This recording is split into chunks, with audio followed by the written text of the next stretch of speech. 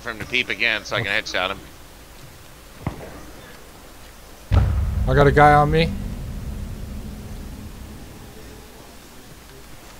Pushing.